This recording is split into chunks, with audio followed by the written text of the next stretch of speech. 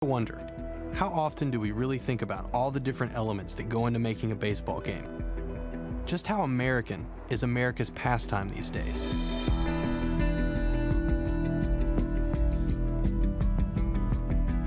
The truth is, in an increasingly global economy, it takes manufacturers from all over the world to make the things necessary to have a baseball game. There is a movie premiering tonight in Lawrenceville. You got to check it out because this could launch a grassroots movement unlike anything that we've seen in a really long time. It was directed and produced by homegrown talent.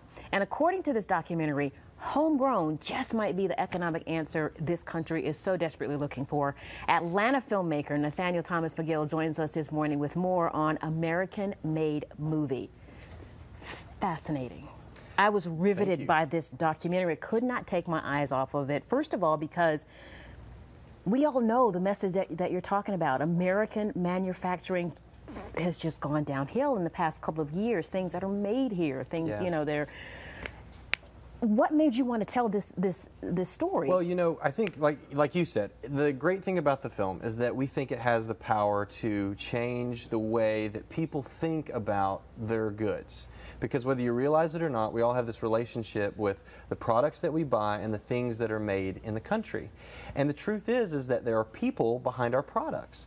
So in terms of, uh, you know, being a documentary filmmaker, uh, me and my partner, uh, Vincent Vittorio, who um, directed and produced this film with me, we started looking at the food movement and the organic movement. A couple of years ago, yes you know, you didn't you didn't see organic goods the way that you do now. When you go into your Publix or Kroger or whatever, your yes. grocery store, you see an entire section yes. dedicated to those goods. That's something that demand did, and we can do it again with the Made in America label. I thought it was interesting. The documentary pointed out that 60% of the things that we buy in this country come from foreign countries.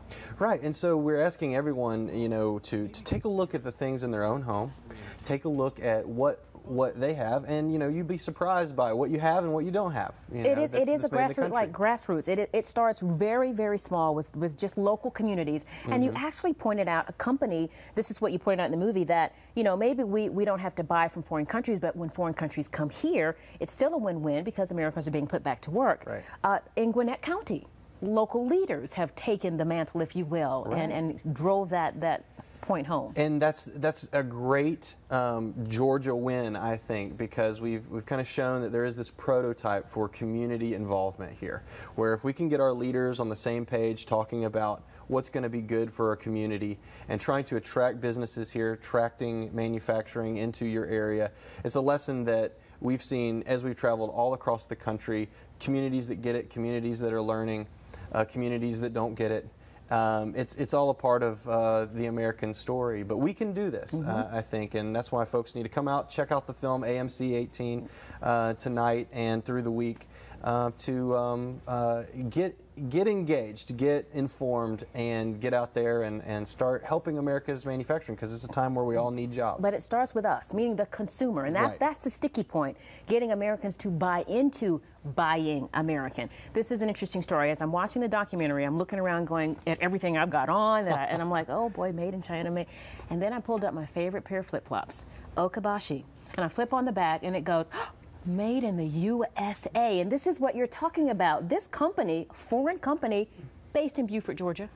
Yeah, this is what you're talking they've about. They've been here a really uh, uh, uh, quite a while, and they're making these wonderful shoes in a, in a town that's actually historic for leather manufacturing many many years ago, and uh, but wasn't it a good feeling when you when you looked and and you saw, hey, wow. So when you bought these, you know, you actually helped not just people in the United States that were making these, craftsmen and women that make these shoes, but actually people in Georgia and in Gwinnett County specifically, where your dollars helped contribute to this economy.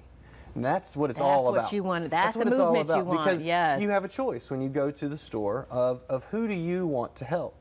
And so, uh, you know, we can vote for different presidents, we can vote for different local leaders, and sometimes for us, you know, we, we don't want to roll up the sleeves and, and try to contribute in our way. We're just letting people know that no matter if you realize it or not, we all have a relationship. Yes. And these folks that work here are keeping maybe uh, Buford's finest restaurants open, uh, coffee shops open, And so it's really important that we think about that on a day to day basis. I love it. It's a fantastic documentary. Definitely, folks, you got to check this out. Lawrenceville, as he said, it is tonight. Uh, the American made movie. It actually premieres tonight at AMC Colonial 18 Theater, again in Lawrenceville. For more information, you can log into our website, myfoxatlanta.com.